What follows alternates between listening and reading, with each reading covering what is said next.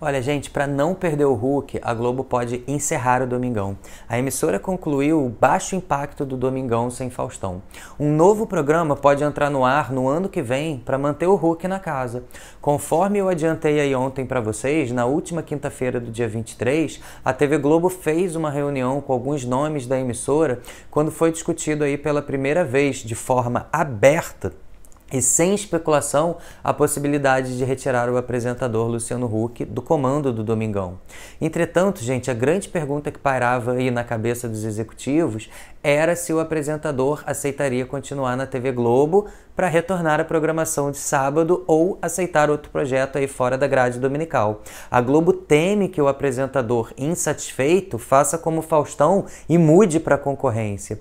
Internamente, os executivos da casa apontaram por meio de uma pesquisa que as chances de Hulk não entregar a mesma audiência alcançada por Faustão ultrapassava 60%. Dessa forma, gente, uma série de estratégias começaram a ser o quê? Pensadas para trocar o apresentador por outra pessoa nessa faixa de horário em 2022, uma vez que além dos índices baixos aí de audiência que não eram esperados, a pesquisa também apontou que o público rejeita em mais de 70% a permanência de Luciano Huck aí no lugar deixado por Fausto Silva. Uma pesquisa chegou a ser pedida pela cúpula da TV Globo, gente, no último dia 26 de setembro, numa sexta-feira, para avaliar entre o público nomes como Ivete Sangalo, Thiago Leifert, Xuxa e Marcos Mion.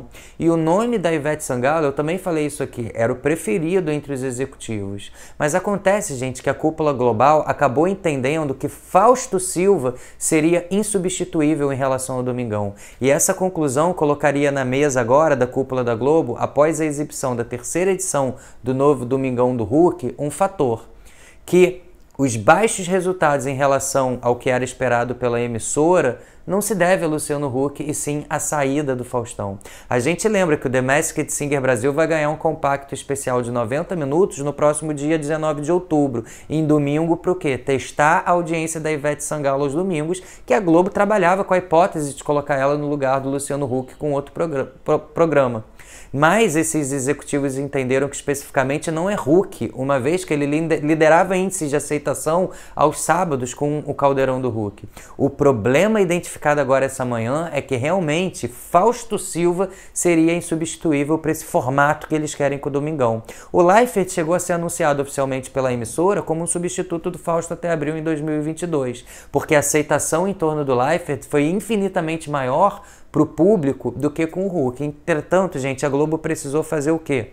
Fazer cumprir com o acordado contratual entre Hulk né, e a Globo, que ele seria o único e primeiro substituto de Faustão, e isso não foi para frente. Mas essa semana essa solução começou a ser discutida aí pela Globo. Os executivos estão apreensivos em retirar o comando do Domingão das mãos do Hulk e ver com isso que o apresentador desistir de permanecer na casa e migrar aí para a concorrência, exatamente como aconteceu com Fausto Silva. Por isso, gente, de acordo com uma fonte de extrema confiança que eu tenho, que trabalha e tem acesso a todo o setor executivo aí da empresa, a solução mais viável que tem sido discutida agora com intensidade na TV Globo desde ontem seria encerrar com o formato do Domingão até abril de 2022 e deixar que o Luciano Huck continue na programação dominical com um novo programa que teria um formato absolutamente diferente dos moldes do Domingão. E para ajudar nessa nova programação, também foi considerado que seria interessante manter nomes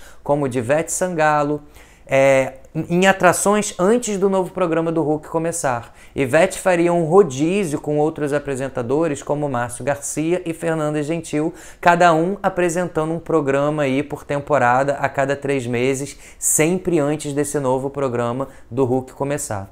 Olha, reuniões diárias na Globo estão sendo feitas aí para que a solução agrade o público, os anunciantes e também o apresentador Luciano Huck. Nesse sentido, o futuro da programação dominical na Globo a partir de 2022 ainda está absolutamente indefinida, assim como também está indefinido a programação de sábado, né? E isso tudo devido à saída do Faustão. A Globo entende que perder mais um apresentador como Luciano Huck agora, indo para uma outra emissora, justamente porque ele não deu certo no formato do Faustão, no formato do Domingão, seria de fato aí cravar que ela é, não teria nenhuma preocupação em valorizar os profissionais que durante muito tempo levantaram o nome da emissora, como foi o caso do Faustão. E justamente por querer rever essa valorização na política da empresa, valorizar os seus profissionais e não ficar saindo essas notas que a Globo chuta ou descarta apresentadores, como foi o caso do Faustão, e a gente vê bem o que foi ilustrado com a saída do Thiago Leifert,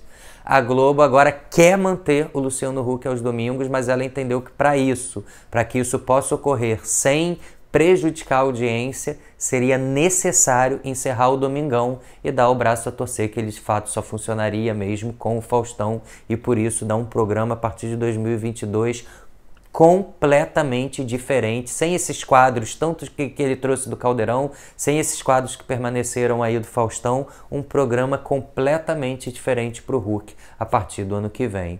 Vamos continuar acompanhando. Como eu te falei, essas reuniões estão sendo diárias, essa movimentação está sendo muito grande, então tudo pode mudar, outras coisas podem vir a acontecer.